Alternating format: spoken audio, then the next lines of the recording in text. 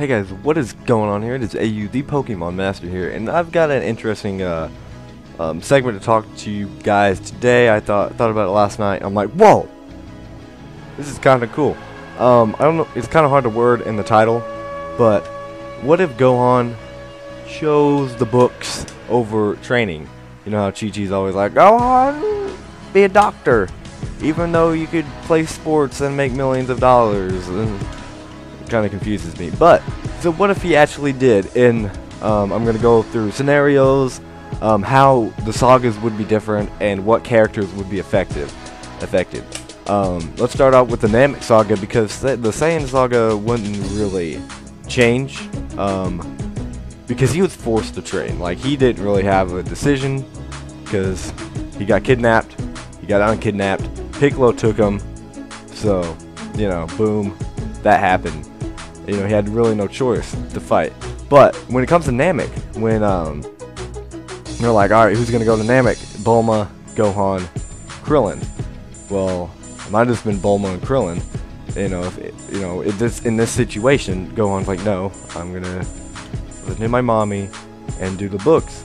So now going to the Namek, going to planet Namek, um, Dende could very well possibly not live because Krillin, I mean, it's not like he wouldn't have, but Gohan's the reason why Dende's still alive because he's like, come on, Krillin, we have to save him. And Krillin's like, oh my gosh, are you stupid? We're gonna die. So if it was just Krillin's decision in the fact in that situation, Dende probably wouldn't be here.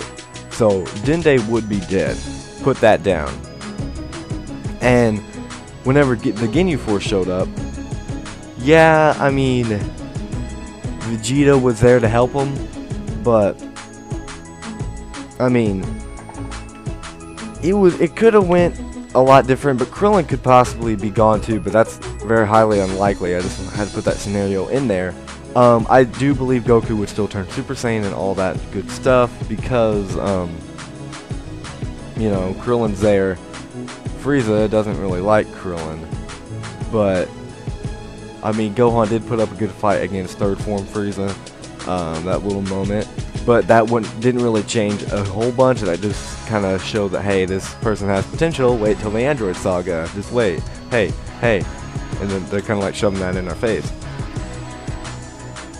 So, um, not too much in the Namek Saga, um, or Frieza Saga, however you want to say it. But Dende would probably be dead, and, you know, that kind of shifts the story a little bit, but not by too much. Um, let's jump on to the Android Saga. And would it be over? Like, that's like everybody's like, oh, this is stupid. Uh, when it comes to Android Saga, it's done. Maybe. Um, but whenever the Cell games came around, um, you know, it was just one on one. And they were really, uh, you know, they show their pride about the fact that, alright, if they're going to do it, we're going to do it because Vegeta and Goku, Piccolo, Krillin was like, because uh, whenever Trunks is like, well, why don't we just go help Gohan? And they're like, are you stupid? He has to do this by himself. And, uh, and with Goku too. But, um, but would, but then they like, yeah, well, Goku would like, well, if I, uh, you know, mess up, we're, we're dead. So, they're gonna have to find a way which is very unlikely. I do believe if Gohan's not around, Android Saga would be the end of Z, but let's just say they figure out a way um, without Gohan, and then we head on to the Buu Saga, and actually the Buu Saga is bright if they survive uh, um, Cell, because Gohan really wasn't that big of a deal. He fought Dabura. Um, Vegeta could have did pretty well against Dabura. Um, though he wasn't a Super Saiyan 2 yet. Um, but I mean, he didn't make too much of a difference. Um, they had just you know going through Babidi's spaceship, which I don't know how much true canon that is. I haven't read the Buu saga in a while. Um, but it would uh, it it'd be good whenever Super Buu comes along, and he just absorbs um, you know just Piccolo uh, Gotenks. Um, not Ultimate Gohan, where he just becomes a mentally OP and you have to bring out Vegito. Vegito probably might not even been around because Um, Ultimate Gohan is about the same strength as Super Saiyan 3 Goku. Um, so if and Gohan fought um, uh, Tanks pretty well, we'll call him. Um, he fought him pretty well, I think, just most of the time. And I think Goku could have did some work also, possibly finishing him off, or maybe, well, forcing him to go to Kid Buu form. And then once it gets to Kid Buu form, it's just regular old. So if they survive the Android Saga, they can, they're good. Like Ultimate Gohan, yes, is a gr great, you know, part of the sh show and um, manga, but it really doesn't make too much of a difference. Um, so that that's pretty like that's going through like how it would be in my opinion. But let's look at some characters. Piccolo comes to mind. Um, though he is with him in the Saiyan saga, is it enough like to change his mind? Because um, in Namek we didn't see in the Namek saga we didn't see Piccolo a whole lot, but in the Android saga, in in the manga even, um, he said, well, he pretty much says, I still hate you guys, but if I was strong enough, if I was stronger than Goku, you guys would pretty much be dead. He he was still kind of had that evilness in him, um, but kind of maybe having Gohan around. Like Gohan still would be around, but he wouldn't have the same relationship because you know he wasn't training with them. He was on the books, so he didn't really have that relationship with them. Um, so Piccolo could very well be still be evil, but since Gohan would have been around for the Saiyan saga, I think Piccolo would have been okay. But the next character I want to discuss is Goten. Uh, would Gohan, Goten like skip out on his training also? I honestly don't think so.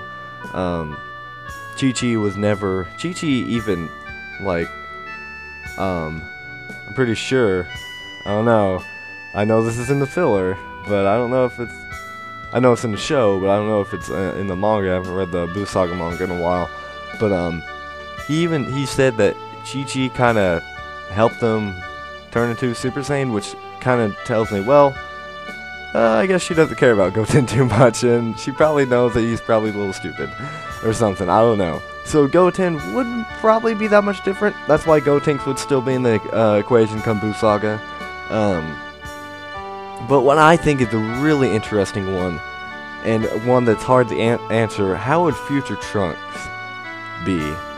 And that is a kind of like I can't figure out a really great answer, but would he, you know, would he be alone fighting the androids? he would be stronger than Gohan because if if it gets to that scenario, Gohan would probably be like, "Well, I'm a Saiyan, half Saiyan. I could definitely help out."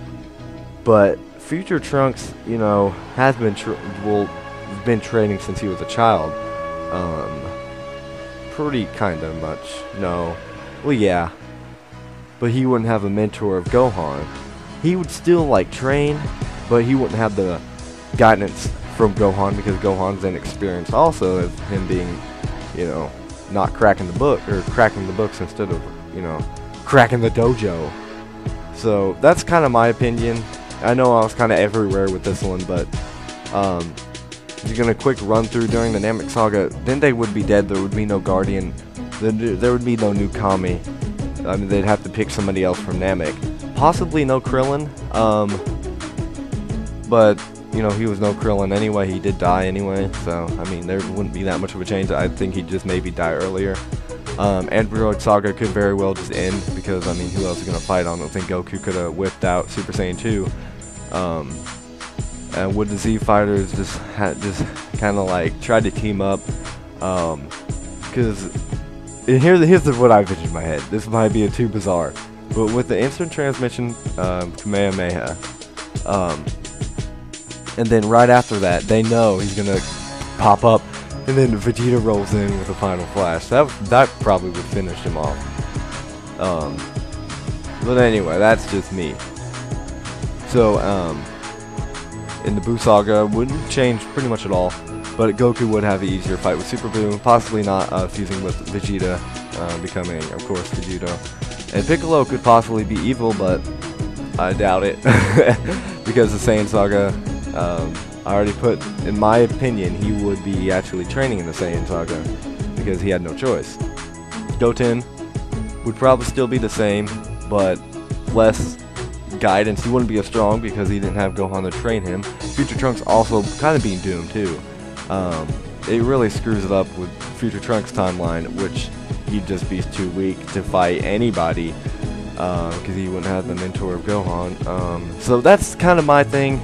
I'm sorry for it being super long, super everywhere. But anyway, guys, if you want more of this, more DBZ anything, that's pretty much I do. That's what I do. Mm-hmm. um, subscribe uh, if you like the video. Leave a like. Comment down below like your scenarios and what you think would happen if Gohan did uh, uh, choose books over uh, training. So anyway, guys, I hope you guys enjoyed. Like, favorite, subscribe, don't favorite.